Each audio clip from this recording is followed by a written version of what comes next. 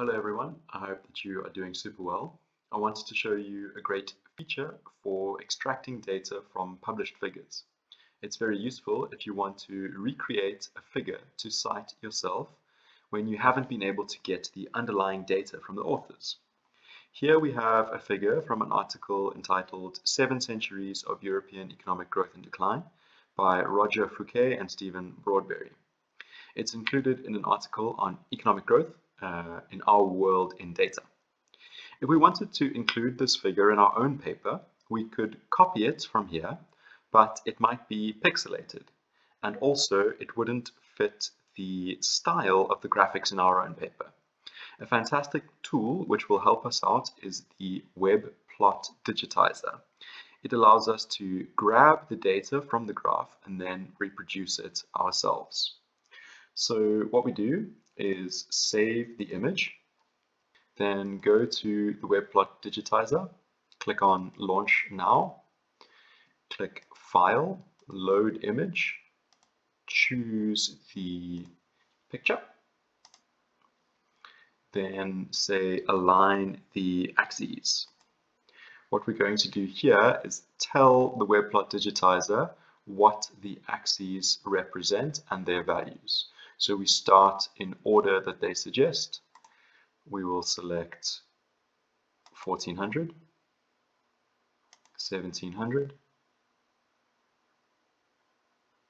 500, and 2500. We can click complete and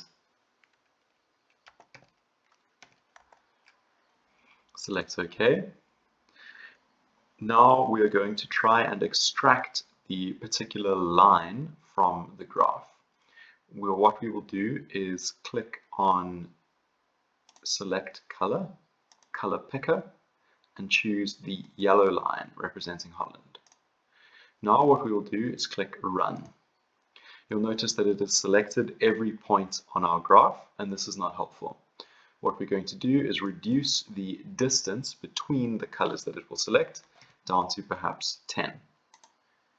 Um, we will run it again, and now we get just the yellow line for Holland. We can download this data by clicking View Data and download as a CSV or copy it to our clipboard. We can then paste that into an Excel spreadsheet.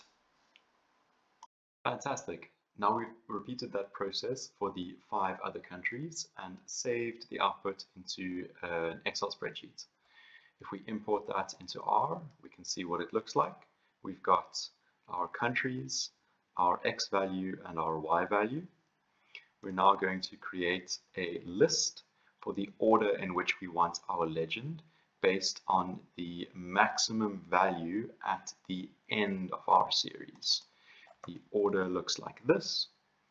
Then we will take our data frame and pipe it to a ggplot. And as you can see, it's come out looking all right.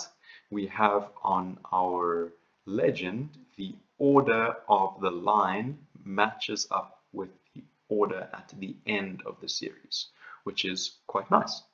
Not too difficult at all.